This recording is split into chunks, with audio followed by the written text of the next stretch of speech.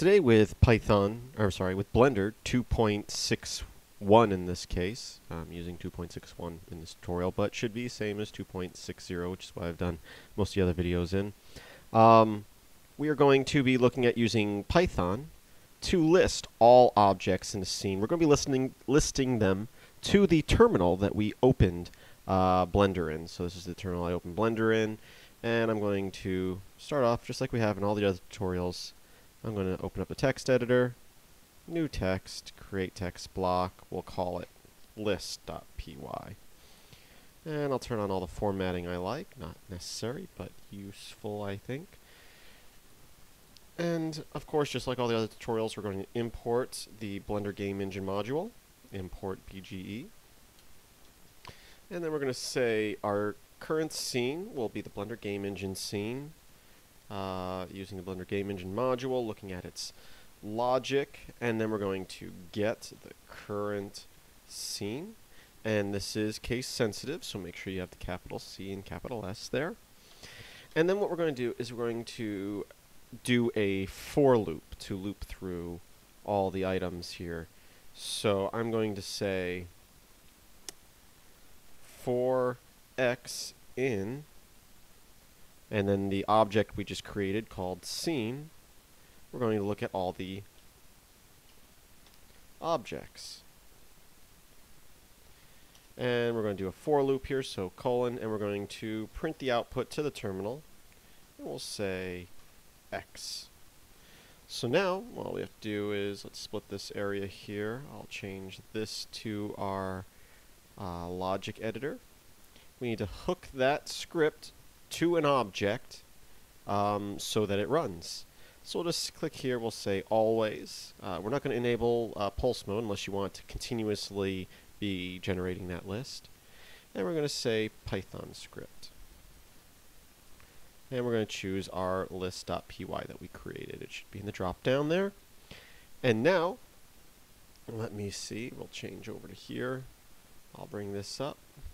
We already got a message from something we did, but uh, we will now say P up here and start the game. And if I tab over to that terminal, you'll see that it says Blender Game Engine started, and then it ran our script once, and we have a cube, a lamp, a camera, and then a default cam. So let's go ahead and uh, escape out of that. Uh, we can also uh, add other objects, so I'll add in a icosphere, I'll add in a UV sphere, and if we just press P, we can look at that again, and you can see this time when the Bling, uh, Blender game engine started, it lists off sphere, icosphere, cube, lamp, camera, and default cam. I'm not really sure what that is, but it always seems to be there. It must have something to do with the camera, maybe. I don't know.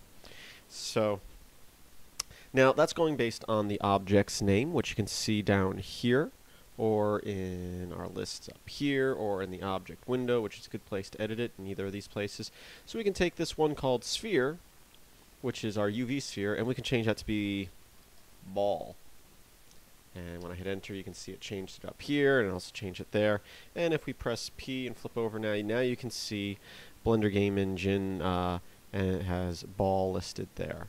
And of course, if you clone objects, so I'll choose an object and hit Shift D a few times, you can see by default it adds dot and then a number to that. So we got our cube, then we got cube 1, cube, well it's dot 001, cube dot 002, cube dot 003, and of course you can rename these individually.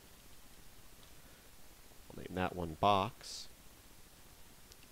And uh, if I clone that one now, I'll have box, and I'll have box 001 and box 002. And if we run our script, we can hit enter there.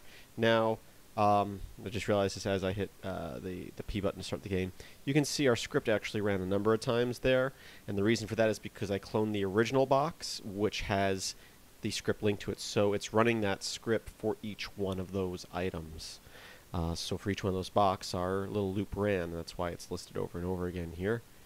Um, So when you do clone an object, it does clu- uh, clone the logic bricks, which is very helpful in many cases, especially if you have create a bad guy in a video game. You clone it, you don't have to relink each one every time you want to add a bad guy into the level. So uh, that's it for, um, well, let's do one more thing here. Uh, we can also say here, we can add a string before this. We can say, how about a string after it? We'll say comma, comma? Am I thinking of the right language here? Uh, we're going to say is in scene. Now let's see if we get an error on that or if that works. So yeah, uh, I put an extra space in there, but you can see when the script ran, it says box 002 is in scene, box 001 is in scene. Um, so obviously you can uh, display different text and output through the loop. Just, I mean, it's, it's, Python. Hopefully you're familiar with Python and basic loops and stuff before you start messing with it in Blender. But if not, um, that's how you do that. And there's an extra space here because uh, I wasn't sure because some languages add a space there for you, some don't. I think Python, if you use a comma, it does. If you use a plus sign, it doesn't. I can't really remember. So really I don't need that extra space there. Run the script again. And there you go. Camera is in scene, lamp is in scene, cube is in scene. So check out the links in the description. You'll be able to find the uh, the playlist for all the videos in this series, as well as a link to the blend files I'm creating in these series, uh, including you know they'll have the Python script built right in. So. Thanks for watching. Please visit filmsbykris.com. Help support the site by going to filmsbykris.com forward slash Amazon. And I hope that you have a great day.